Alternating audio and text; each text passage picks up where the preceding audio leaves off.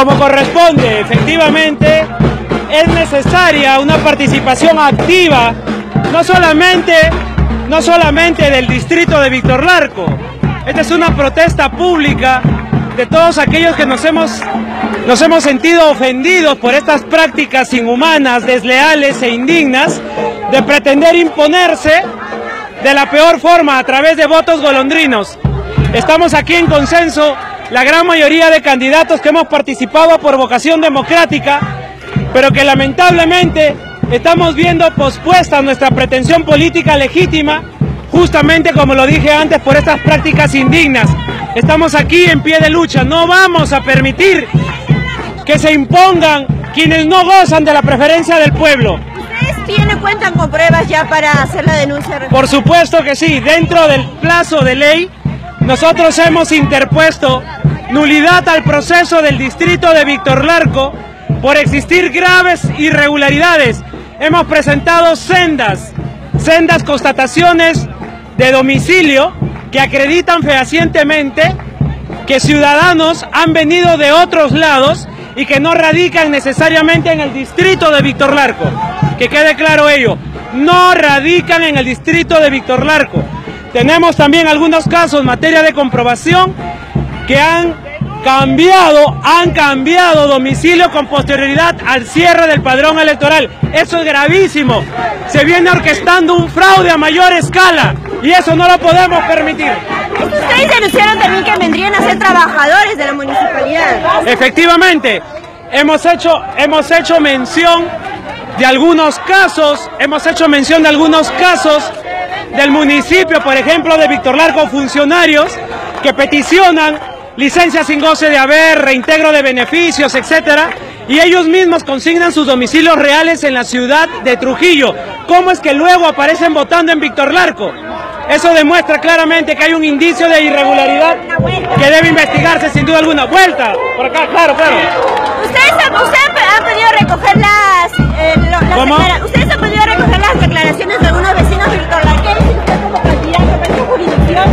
No la escuché, discúlpame. ¿Usted ha podido recoger algunas declaraciones de vecinos victorlarqueños? Muchas declaraciones, muchas declaraciones sobre el particular, muchas. La gente conoce plenamente cuáles son los domicilios donde existen varios vecinos que no habitan en la jurisdicción del distrito de Víctor Larco, ¿correcto? Esto es de conocimiento público, solo que no se toma acción. Pero desde aquí quiero decirle a todos los que nos están mirando y sobre todo a quienes están detrás de esta mafia, no les tenemos miedo. Y por eso estamos aquí batallando por nuestro derecho. No les tenemos miedo. Ni vamos a permitir que se posicionen cuando no gozan de la preferencia del pueblo. El pueblo unido jamás será vencido. El pueblo unido jamás será. El pueblo unido jamás será vencido. También van a tomar como eh, prueba las eh, actas que se encontraron en el Colegio Indoamérica. ¿Ustedes las tienen en posición? Hemos puesto en conocimiento ese tipo de anomalías que se han acontecido y esperamos que el jurado electoral de manera imparcial resuelva como corresponda, porque lo que estamos nosotros protagonizando ahora no es un mero capricho para posicionarnos, no, es la salvaguarda a un derecho electoral que tenemos al haber sido elegidos por la mayoría de victorlarquenses. Bien, ahí teníamos las declaraciones de uno de los candidatos a Víctor Larco, quienes presiden esta marcha en contra de la corrupción y el fraude de la OMPE. Señor Morán, ¿puede venir un momento por acá, por favor? Para entrevistar. ¿Cómo estás? Señor Morán, usted también se une a esta marcha contra la corrupción. Así es, hemos convocado a esta marcha contra la corrupción y el fraude porque tenemos más de 50 evidencias que nos permiten determinar que estas han sido elecciones irregulares, donde hay claros indicios de manipulación, de cegamiento y parcialización. Hemos ingresado los documentos al jurado electoral especial, hoy día otro cúmulo de pruebas, ahí tengo el folder donde puedo yo acreditarle con videos y con fotos el conjunto de evidencias y pruebas que conducen a que estas elecciones a nivel provincia de Trujillo sean anuladas. Usted había, señalado que si Manuel Yempen va a una segunda vuelta con usted, usted podría ganar. Así es, tengo la plena seguridad que en una segunda vuelta yo le ganaría a Manuel Yempen.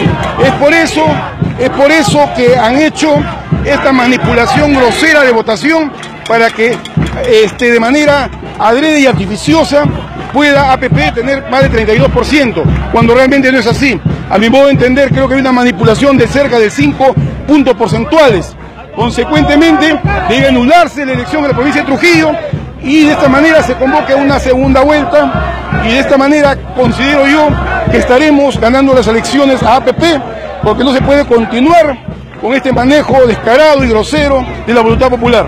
Hernán Aquino, regidor de la Municipalidad de Trujillo y también es este militante APP, ha señalado de, o instó a, militantes de la APRA que lo retiren usted de las filas del Partido de la Estrella porque prácticamente no es un buen perdedor. Yo no me encuentro a nivel del señor Aquino, que él converse con otros compañeros porque él no está a mi nivel para poder objetarme, aconsejarme algo. Yo quiero retar a Cuña y retar a Yempen y que aquí no hable con otros. Gracias.